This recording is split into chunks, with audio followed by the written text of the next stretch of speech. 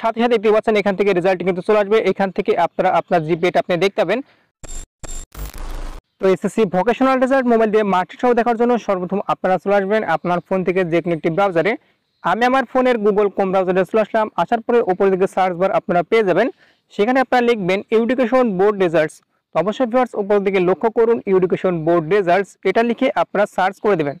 Search করে দেওয়ার পর education board results dot gov dot BD ওয়েবসাইটে চলে আসবে। জাস্ট আপনারা সেই ওয়েবসাইটের উপর ক্লিক করে দেবেন। ক্লিক করে দেওয়ার পর এখান থেকে আপনার মাঝে এরকম একটা অপশন চলে আসবে। আমি আপনাদের সুবিধার জন্য জুম করে দেখাচ্ছি যে আসলে কীরকম অপশন তো এখান থেকে লক্ষ্য করুন, এরকম একটা বক্স আপনারা পেয়ে যাবেন। এই বক্সের মধ্যে মূলত ছয়টা অপশন থাকবে। এই ছয়টা অপশন আপনাকে পূরণ করে সাবমিট করলে কিন্তু আপনার রেজাল্টটি চলে আসবে। তো কীভাবে আপনারা এই বক্সটি পূরণ করবেন? তো প্রথম যে অপশনটা রয়েছে এক্সামিনেশন পাশে দেখতে পাচ্ছেন এসএসসি দাখিল। তো যেহেতু এখন বর্তমানে এসএসসি রেজাল্টের সময়, যার কারণে থেকে এসএসসি দাখিল অটোমেটিক সিলেক্ট হওয়া রয়েছে, অন্যান্য সময় কিন্তু থাকবে না। যার কারণে এখান থেকে পাশে সিলেক্ট অন অপশন দেখতে পাবেন, সেখানে আপনারা ক্লিক করে দিবেন। ক্লিক করে দেওয়ার পর এখান থেকে এসএসসি দাখিল এটা আপনারা সিলেক্ট করে দেবেন। ঠিক একইভাবে ভিউয়ার্স এখান থেকে লক্ষ্য করুন, নিচের বক্সে ইয়ার দেওয়া, পাশে সিলেক্ট অন অপশন এখানে আপনারা সিলেক্ট অন অপশনে ক্লিক করে দিবেন। ক্লিক করে দেওয়ার পর এখান থেকে দেখতে পাচ্ছেন সালগুলো কিন্তু দেওয়া রয়েছে, সর্বোচ্চ এখান থেকে দু হাজার তেইশ সাল। যেহেতু এখন বর্তমানে দু হাজার তেইশ সালে আমি ভিডিওটি বানাচ্ছি, আপনারা রেজাল্ট দেখবেন দু হাজার তেইশ সালের, সেহেতু এখান থেকে দু হাজার তেইশ আপনারা সিলেক্ট করে দেবেন। যদি হাজার চব্বিশ সাল বা দু হাজার পঁচিশ সালে আমার ভিডিওটি দেখেন, তবে সেক্ষেত্রে এখান থেকে দু সাল বা দু হাজার পঁচিশ সাল আপনারা দেখতে পাবেন, একইভাবে সেটা সিলেক্ট করে আপনারা একইভাবে কিন্তু রেজাল্টে দেখতে পাবেন। শুধুমাত্র সালটা চেঞ্জ হয়, শুধুমাত্র রেজাল্ট কিন্তু আপনারা একই পদ্ধতি দেখতে পাবেন। তো এখান থেকে আমি দু হাজার তেইশ সিলেক্ট করে দিচ্ছি, অথবা আপনি চাইলে এখান থেকে বিগত সাল যেগুলো রেজাল্ট প্রকাশিত হয়ে গেছে, সেগুলো কিন্তু আপনি চাইলে এখান থেকে দেখতে পারবেন। তো আমি এখান থেকে দু হাজার তেইশ সিলেক্ট করে দিলাম, একইভাবে আপনারা সিলেক্ট করে দেবেন। তারপর এখান থেকে লক্ষ্য করবেন বোর্ড তো এখান থেকে পাশে আবারও সিলেক্ট অপশন আপনারা ক্লিক করে দেওয়ার পর এখান থেকে বাংলাদেশের সমস্ত বোর্ড কিন্তু দেওয়া রয়েছে। যেহেতু আমি দেখাবো যে কীভাবে আসলে টেকনিক্যাল রেজাল্ট আপনারা দেখবেন, অর্থাৎ ভোকেশনাল থেকে যারা রেজাল্ট দেখবেন, এখান থেকে একটু নিচের দিকে চলে আসবেন, তাহলে দেখতে পাচ্ছেন এখান থেকে টেকনিক্যাল যারা ভোকেশনাল থেকে পরীক্ষা দিয়েছেন, তারা রেজাল্ট দেখার জন্য এখান থেকে টেকনিক্যালটা সিলেক্ট করে দেবেন।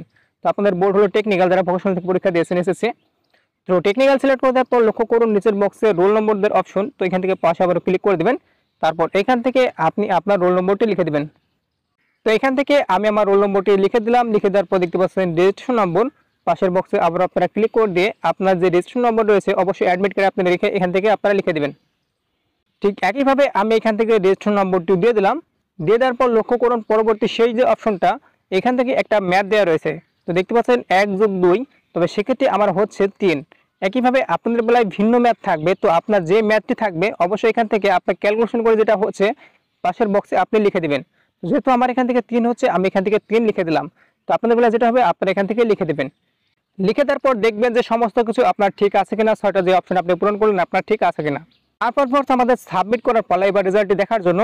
এর জন্য এখান থেকে লক্ষ্য করুন, নিচের দিকে একদম কোন আছে সাবমিট অপশন সে অপশনে আপনারা ক্লিক করে দেবেন। ক্লিক করে দেওয়ার সাথে সাথে দেখতে পাচ্ছেন এখান থেকে রেজাল্ট কিন্তু চলে আসবে। এখান থেকে আপনারা আপনার জিপিএটা আপনি দেখতে পাবেন, পাশে ভিউয়ার্স এখান থেকে সাবজেক্ট করে দেখতে পাবেন, এমনকি সাবজেক্টের নামগুলো দেখতে পাবেন। পাশাপাশি এখান থেকে কোন বিষয়ে আপনি কত গ্রেড পেয়েছেন আপনি দেখতে পাবেন।